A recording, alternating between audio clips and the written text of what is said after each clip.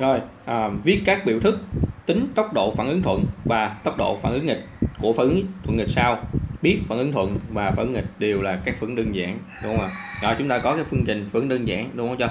A lớn cộng cho b b lớn sẽ tạo ra sẽ tạo ra à, mũi tên hai chiều ha phương trình phản ứng nghịch. C c lớn cộng cho d d lớn. Với a nhỏ b nhỏ c nhỏ d nhỏ chính là các hệ số cân bằng của phương trình này còn a lớn b lớn c lớn d lớn chính là các chất abcd đúng không? Ab là sản phẩm còn cd là chất tạo thành. Rồi nó kêu mình viết cái uh, tốc độ phấn thuận tốc độ phấn nghịch. Các bạn học cái này ở chương trình lớp 10 rồi. Lớp 11 thì có vài chương trình họ có đi ừ, họ có đề cập đến vấn đề này. Hay đó là cái tốc độ phấn thuận tốc độ phấn nghịch. Thì thật ra bình thường lớp 10 đã học về tốc độ phấn rồi. Cái tốc độ thì chúng ta được tính bằng công thức là gì? V thì bằng k tức là hằng số. Tốc độ phấn đơn giản nha. V bằng k à, tại một thời điểm nào đó đúng không? V bằng k nhân với nồng độ của chất a. Các bạn mở từ lớp 10 để có thể coi lại. Và nồng độ chất A bình phương. Sau là một chất A nhân với mũ A tức là mũ A chính là hệ số cân bằng của A. Nhân tiếp tục cho B và hệ số cân bằng của B. À, coi lại từ lớp 10 và lúc này đề hỏi V thuận V nghịch thì các bạn chỉ cần gắn V thuận V thuận và V thuận và K thuận vô là xong. Tức là V VT và KT các bạn thấy không? Những chữ T này nè. Chữ T là viết tắt của từ thuận thuận nha. Chữ T là viết tắt của từ thuận thuận thôi.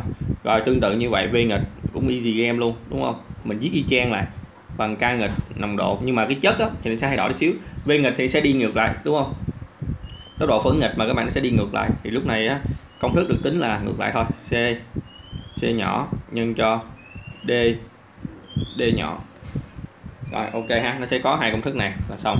Rồi đề bảo là à, lập tỷ lệ giữa đề bảo thêm là lập tỷ lệ giữa hàng số tốc độ phấn thuận hàng số tốc độ phản ứng nghịch ở trạng thái cân bằng. Rồi chúng ta biết một điều gì các bạn ghi ha. Khi ở trạng thái cân bằng hai chấm xuống dòng. Lúc này khi ở trạng thái cân bằng thì chúng ta sẽ có v thuận bằng v nghịch. Luôn là vậy. Thì lúc này cái con suy ra là gì? V thuận thì các bạn sẽ có được là cái công thức. Công thức đã có sẵn này đúng chưa? Công thức ở đây nè.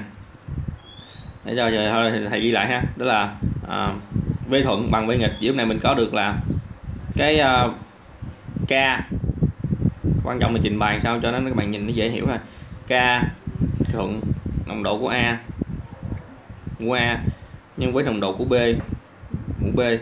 À cái à, ký hiệu nồng độ là các bạn viết chất rồi sau đó để ngoặc vuông nha. Đóng ngoặc vuông chính là cái ký hiệu về nồng độ của một chất bất kỳ. Rồi v nghịch. Lúc này v nghịch cũng tương tự luôn là bằng k nghịch. Nồng độ của xin lỗi nồng độ của c chứ tôi ghi lộn ấy. Nồng độ của c mũ c. Nồng độ của d mũ d. À thì mình sẽ có cái v thuận và v nghịch như thế này. À, mình có cái v thuận và v nghịch như thế này. Rất là ok. Đề hỏi là hai này nó bằng nhau đúng chưa? Thì nó hỏi là cái tỷ lệ của uh, tỷ lệ giữa hằng số tốc độ phấn nghịch thuận và độc hằng số tốc độ phấn nghịch. Dưới này chúng ta suy ra thôi rất là dễ ca thuận ca nghịch. Các bạn chia sao cho nó có cái tỷ lệ? Dưới này là cái chữ k nha.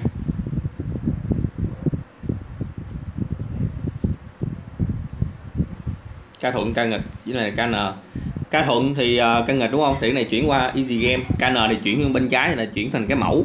Còn cái uh, nồng độ a a gì đó thì chỉ bằng chuyển dưới thì nó thành cái, cái cái mẫu dưới này này về mặt kỹ năng toán học nha. Đứa nào mà không biết cái này thì thôi đăng ký uh, mai là thầy abcd gì đó toán đi rồi bạn bổ sung kiến thức lại. Này là c. Này là d. D mũ d ha. Rồi ok.